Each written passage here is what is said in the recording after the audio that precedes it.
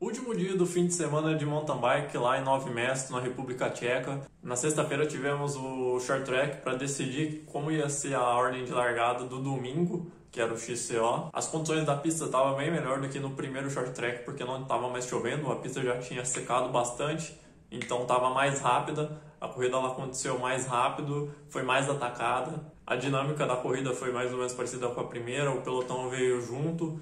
Foi decidido mesmo na última volta na última volta, a hora que abriu a volta, acabou que a Ivy, Richards, que vinha na frente puxando o pelotão, ela caiu na primeira curva para entrar para a trilha, mas mesmo assim ela conseguiu levantar e reconectar. Ela fez a volta junto com o pelotãozinho e no final, quando saíram do pump track desceram para a arena, veio o pelotãozinho e acabou sendo definido no sprint de novo. Quem acabou ganhando foi de novo a Ivy Richards. Foi a segunda vitória dela seguida no short track de 9 mesto. Acabou que no sprint ela e a Pauline Ferrand Prevot acabou tendo ali uma fechadinha da Ivy Richards que a Pauline Ferrand Prevot reclamou, mas não deu em nada, como a Ivy Richards falou depois na entrevista dela, é o primeiro ano dela como elite, ela está fazendo de tudo para ganhar, então ela vai ter alguns erros que vai servir para ela aprender o que ela tem que fazer para as próximas corridas. O resultado do, do short track ficou então com a Ivy Richards primeiro, a Pauline Ferrand Prevot em segundo, a Laura Stiger em terceiro, Kate Courtney em quarto e a Luana Lecomte, que foi a vencedora do XCO, ela ficou em quinto lugar. No short track masculino, o Vavak ele tentou sair escapado já na primeira volta, mas o Avancini ele forçou um pouco o ritmo, chegou no Vavak, fechou o gap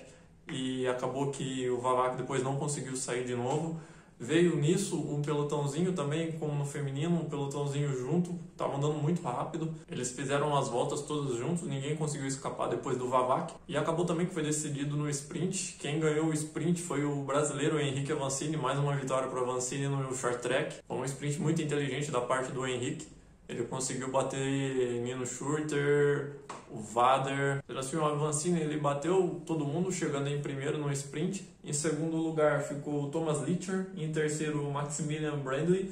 Em quarto, Milan Vader. E em quinto, o Manuel Funk. Já no domingo tivemos a largada do XCO. Eu já estava esperando para que as novatas que subiram da Sub-23 esse ano fizessem alguma coisa na frente da corrida, mas a Pauline Ferrand Prevot não deu nem chance. Na primeira volta ela já atacou abriu um gap e continuou acelerando, mantendo o gap ali. Ela conseguiu abrir um gap da Lona Lecon, da Laura Stiger, da Rebecca McConnell. E ela fez a corrida toda sozinha, escapada lá na frente. Atrás dela, quem estava tentando fechar o gap era a Anne Terpstra.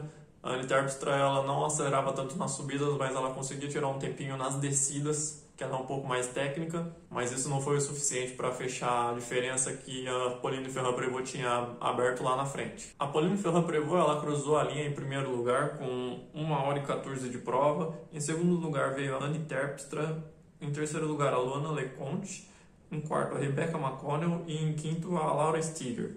A Pauline Ferrand Prevot mostrando que ela está em ótima forma, manteve uma, uma boa consistência durante esse fim de semana na República Tcheca, e vamos ver agora se ela consegue no próximo final de semana, no sábado, manter a camisa de campeão mundial, que ela já ela é atual campeã mundial, ela vai defender o título agora no próximo sábado. Vamos ver como é que vai ser a performance dela no sábado. No XCO masculino, tivemos ali a largada, o start loop foi feito com o pelotão praticamente ainda agrupado. Na primeira volta, o brasileiro Cocuzzi, ele assumiu a ponta da corrida, ele deu uma acelerada, deu uma quebradinha no pelotão, mas acabou que ele teve um problema mecânico, um furo de pneu que tirou ele das primeiras posições ali. E quem acabou assumindo na frente foi o brasileiro Henrique Avancini, Thomas Litcher, o Nino Schurter também, que algumas horas passou para frente acelerando o ritmo, até que eles conseguiram abrir um gap um pouco maior para o grupo de trás, e o grupo da frente seguia com Henrique Avancini, Nino Schurter, Milan Vader, Vitor Korektsky e Stefan Tempier. Eles vieram ditando o ritmo na ponta da corrida, né? abrindo ainda mais o gap para trás. Esse pelotão ele andou junto praticamente a corrida toda,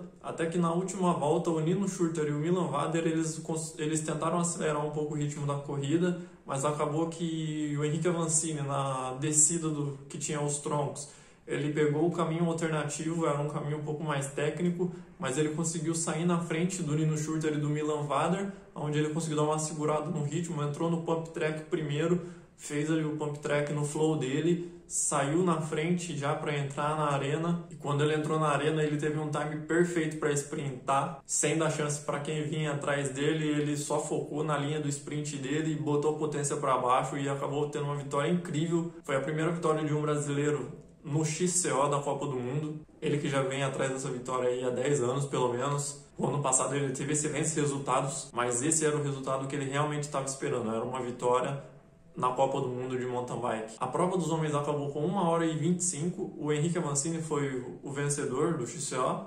Em segundo lugar ficou o Milan Vader.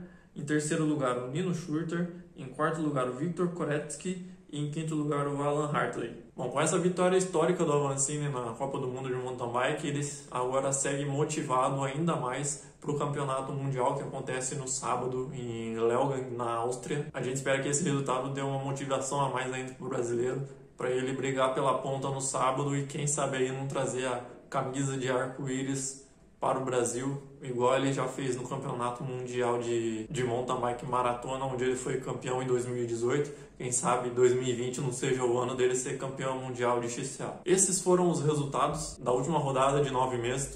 Agora, no próximo sábado, já teremos o Campeonato Mundial. Fiquem ligados aí na Red Bull TV, vai ser transmitido ao vivo também uh, o Campeonato Mundial. Eu vou deixar o link da Red Bull aqui embaixo. E se vocês quiserem saber mais detalhes, fique ligado no canal que eu vou estar postando tudo para vocês aí. Bom, é isso aí galera, esse foi o vídeo. Deixa seu like, compartilha e até o próximo.